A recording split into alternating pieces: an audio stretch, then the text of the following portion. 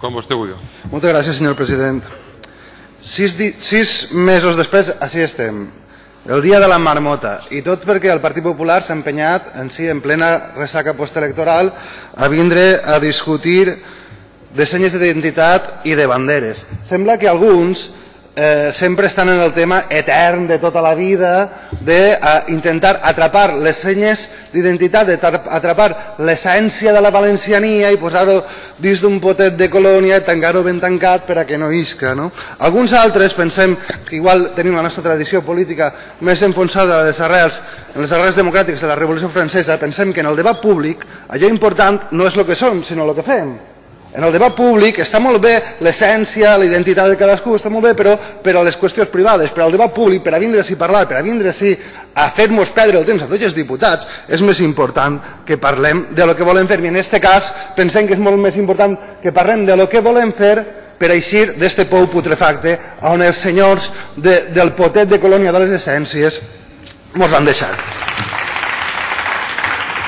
L'altra volta ja fa sis mesos vam parlar, vam parlar així de la impossibilitat de reduir la complexitat de la valencianitat a un catàleg tancat de senyes d'identitat i a un observatori certament inquisitorial. I els vaig dir que el que significa la valencianitat no cap ni, ni en la llei de senyes ni tan sols dins d'aquest edifici. Però vostès s'han empenyat en tornar a portar així eh, a parlar-nos de senyes d'identitat i no tenim por de parlar de senyes d'identitat. Vol que parlem de senyes d'identitat? Ja els vaig dir l'altra volta que això de les senyes d'identitat mos sonava molt a que en una bandera van gesticulant, en una mà van gesticulant, manejant la bandera i en l'altra mos surten la cartera. Però això ho hem parlat massa voltes. De fet, la gent ja sap com són vostès.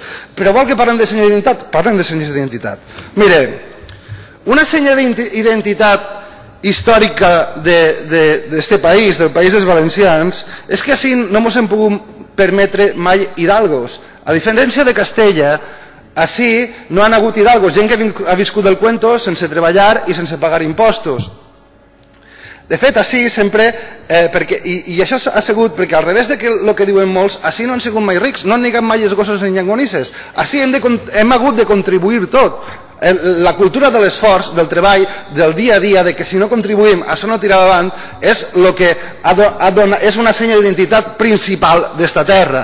Jo recomanaria a tots aquells que parlen tant del potet de colònia, de les essències, i que estan tan obsessionats en això, que deixen algun dia la seva zona de confort, que deixen els seus xalets i els seus àtics i que xafen el territori, que observen com, que observen com, com any, com els nostres avantpassats van guanyar territori per dins de les marjals, que observen com, els, com les nostres muntanyes estan abancalades pràcticament fins al pic.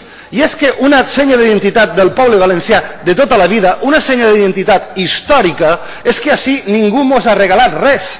És que així, i encara menys l'Estat, ningú mos ha regalat res. Este país l'han construït els nostres avantpassats, l'han moldejat el territori, construir-lo pam a pam sense que ningú es regalara res. Eixa és una senya històrica d'identitat del poble valencià, per si vol que parlem de senyes. I una senya, una senya històrica del poble valencià és la que li cal dir. I saps quina és la senya, la senya actual dels valencians del 2016? Perquè ja que vol que parlem de senyes d'identitat, jo li ho diré. Els valencians del 2016, que ja portem una dècada en plena crisi i estafa profunda, resulta que som els més maltractats per l'Estat de totes les comunitats autònomes de l'Estat espanyol. Paguem com a rics i cobrem com, com a pobres de necessitat. I damunt hem de suportar que el senyor Montoro, ese que tant apoyen vostès, mos xulege amb els nostres propis diners. La desgraciada senya d'identitat dels valencians de 2016 és estar a la cua en finançament per càpita, en inversions de l'Estat i en despesa social. Heus així, heus així una altra senya d'identitat dels valencians, i és que paguem per ser una colònia de sol i platja que sempre ix perdent en tots els repartiments que es fan. I això és culpa, segurament més culpa seua senyors del Partit Popular que han estat 20 anys demanant que, que de ningú.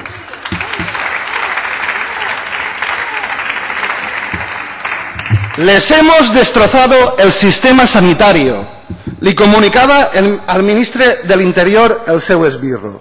Destrossar sistemes sanitaris de comunitats autònomes sense ningú escrúpol? Amb el finançament que ens han donat i amb la corrupció ens han destrossat el sistema sanitari, el sistema d'educació, ens han destrossat els serveis socials, Mos han destrossat Radio Televisió Valenciana i mos han destrossat l'autonomia. Lo pitjor de tot és que aquestes senyes d'identitat les han destrossades vostè de manera conscient, premeditada i coordinada. Això és lo pitjor de tot. Una altra senya, una altra senya d'identitat dels valencians eren les nostres caixes d'estalvis, que vostès van saquejar a major glòria de la bombolla immobiliària i després van regalar tot el sistema financer a Rodrigo Rato i a l'oligarquia madrilenya de la qual vostès han fet tots aquests anys de capatassos. És el centralisme ancestral que els uneix a vostès en forma de pleitesia amb el palco del Bernabéu i amb l'IBEX 35. Eixa és la, eixa és la seva senya d'identitat. Parlen vostès, parlen vostès de valenciania i volen que discutim d'accents i de banderes quan s'han carregat vostès la principal senya d'identitat de la història dels valencians com és el minifundisme i l'agricultura valenciana que fa 20 anys l'orgull d'esta terra i la enveja de tot Espanya i que avui és la vergonya d'Espanya i d'Europa. Parlen vostès, parlen vostès de senyes d'identitat, de si són cacaues o tramussos, de si estan verdes o estan maures, però ja s'han encarregat vostès d'enviar a la UCI al teixet empresarial valencià format per autònoms i xicotetes empreses que han repartit la riquesa durant segles en esta terra. Un, un teixit empresarial valencià format sobretot per l'amo, el treballador i el fill de l'amo, que quan arriba el diumenge l'amo, el treballador i el fill de l'amo volen descansar. Igual que volen descansar els treballadors de les grans superfícies, però vostès en la seva valenciania es posen del costat de les multinacionals i les grans superfícies que, curiositat, paguen la majoria dels seus impostos a Madrid. Eixa és la senya d'identitat. I sap què passa?